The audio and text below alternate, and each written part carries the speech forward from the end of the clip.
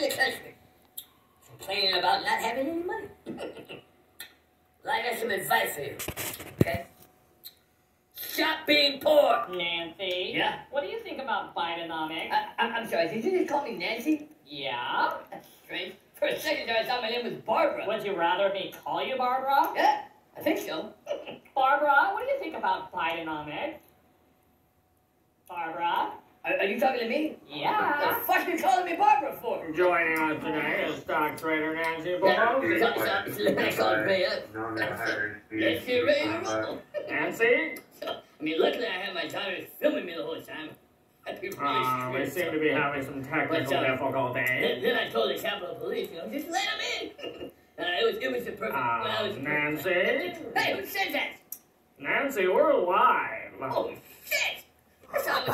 Wow, um, this is a lot to take in. and instead of calling it the Medal of Honor, I'm gonna call it the Medal of Biden. This is crazy. What? Did Joe Biden should be on the George Floyd mural? You want Joe Biden to be on the George Floyd mural? Joe Biden invented electricity. What? He invented the telephone. Joe Biden invented the internet. But but that's not true. That's it. Who do you work for? I work for CBS. Well, now it's called Soviet.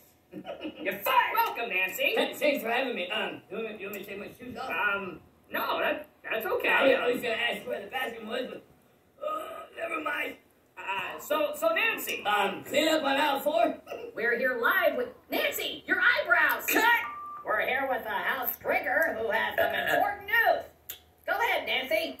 Hello, peasants. Um, due to recent events, um, I, along with the entire Democratic Party, have decided to fire our private security teams. Our thoughts and prayers will be our weapons from now on. Miss Pelosi. Miss Pelosi is my husband. My name is Nancy. Okay, Uh, Nancy. That's better. What has Joe Biden done for America? Well, he raised gas prices, raised inflation, raised electricity up 25%, raised rent 19%, raised food prices 20%, and overall prices 17%. And uh, you think that's good? Of course I do. Getting rid of all the poor people. Uh, what, what has uh, Bidenomics done for you? Made me rich. Do you have any advice for the peasants out there who aren't doing so good? Yeah. Stop being poor. Then you can afford stuff like me. Next, Joe Biden's a hero. He took a bullet for America. He deserves to be on Mount Rushmore. But Trump was the one who was shot. That's all fake news. Joe is a real hero. And that's why I'm inducting Joe Biden into the Football Hall of Fame. But Joe never played football. Allegedly. What? And to be perfectly honest, I think we should call it the Biden Memorial. You want to replace Abraham Lincoln with Joe Biden? Of course, Abraham Lincoln is yesterday's news. I was the old, in with the Joe.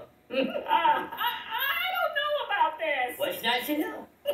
Joe's a champion, patriot, and that's why Joe Biden will be the new face of the Martin Luther King Jr. Memorial. What? If you don't have any money, then just invest in.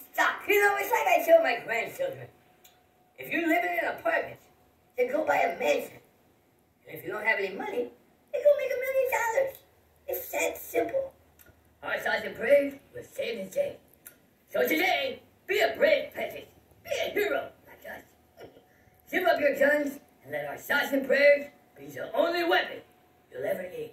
and cut off for years, the poor people have been blaming me because they're poor. But I didn't make these peasants poor. These peasants made themselves poor.